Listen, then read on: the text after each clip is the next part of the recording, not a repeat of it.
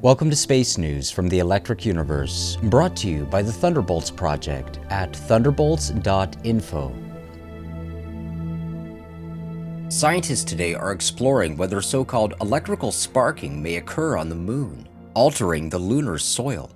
The scientists have developed computer models to explore how strong electric fields might accumulate in permanently shadowed regions on the moon, creating electrical sparking that fragments soil grains.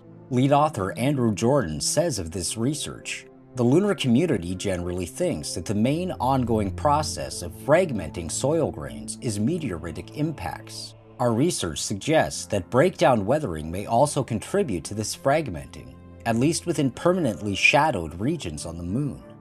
However, Institutional science remains unready to explore the evidence for high scale electrical discharge events in the past that may have shaped the lunar surface.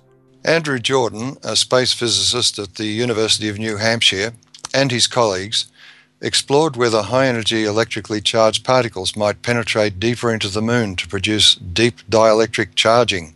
It's a process used to produce spectacular trapped lightning in acrylic blocks by exposing the blocks to intense radiation and then tapping the block with a sharp metal point to initiate the internal discharge. The research is aimed at explaining why the soil in craters near the lunar poles appears dark, which suggests more porous or fluffier soil than soil outside those regions. Sparking would vaporize tiny channels in lunar soil. And I quote, the lunar community generally thinks that the main ongoing process of fragmenting soil grains is meteoritic impacts. The giant craters that pockmark the face of the moon bear witness to a violent past full of cosmic impacts. End of quote. The question to be asked is why sweat the small stuff like the soil when we don't understand the gigantic pockmarks on the face of the moon? The moon does not bear witness to a violent past of cosmic impacts.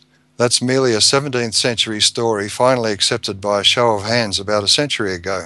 Geologists won the argument with astronomers who initially attributed the craters to volcanism, about which they knew little, while the geologists who knew about volcanoes thought they were caused by impacts, about which they knew little.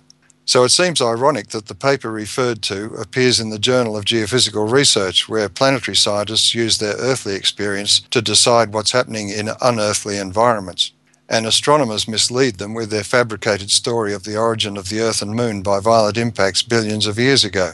And of course, being experts, neither group are about to listen to non experts. Like, for instance, Brian J. Ford, a British scientific consultant and amateur astronomer, who wrote in the Journal of the British Interplanetary Society back in January 1965 on the origin of the lunar craters.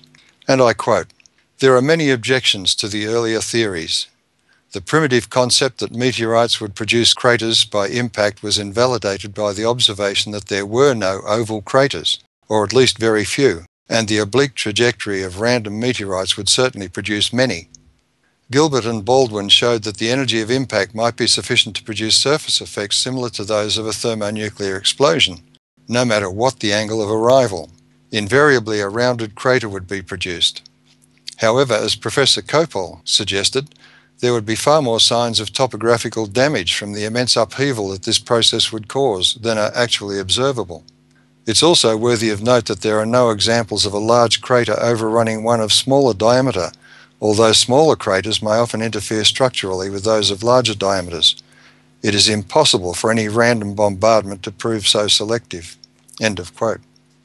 Ford did an experiment to test electrical discharge cratering and found, and I quote, it is clear that craters produced by an electrical discharge show central peaks in the ratio of approximately 1 to 3 in the small craters, or nearer 50 50 where the largest craters are concerned.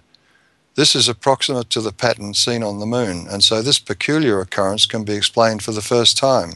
His experiment involved plasma arc or plasma discharge machining in a plasma oven of a surface which was then examined under a microscope. And of course, the clean circularity of lunar craters, as if they were machined into the surface rock, is characteristic of electric arcs, which always strike the surface from directly above. From Baldwin's analysis of lunar and terrestrial explosion craters, it would appear that the energy of an average terrestrial lightning bolt ought to produce a lunar crater of about 85 metres in diameter. But on to another topic One of the major components of lunar soil has been found to be tiny glass beads like those used in roadside reflectors, which throw the light back in the same direction it came from. That's the reason why the moon becomes super bright close to a lunar eclipse. The origin and survival of the beads over millions or billions of years is a mystery. However, as Jordan and his colleagues are aware, lightning like discharges in soil can vaporize and glassify the soil. A decade later, a more extensive analysis of lunar surface features was done by the engineer Ralph Jurgens, who showed, amongst many other things, that the Great Rayed crater Tycho doesn't conform to an impact. The rays meet the crater wall tangentially, and the rays themselves are characteristic of a Lichtenberg discharge across the surface of the Moon.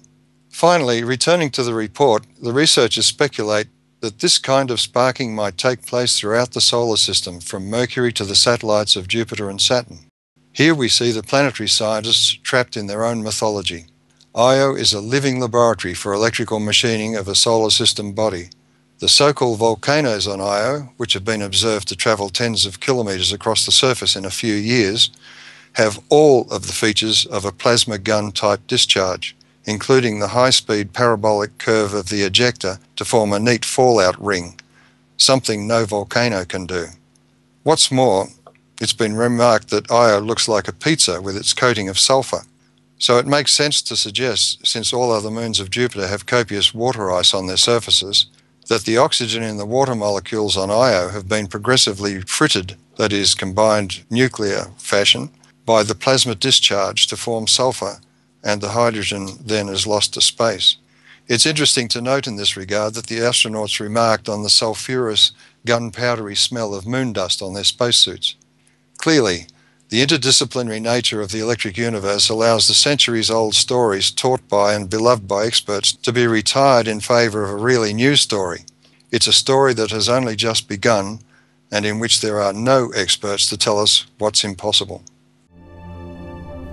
For continuous updates on space news from the electric universe, stay tuned to thunderbolts.info.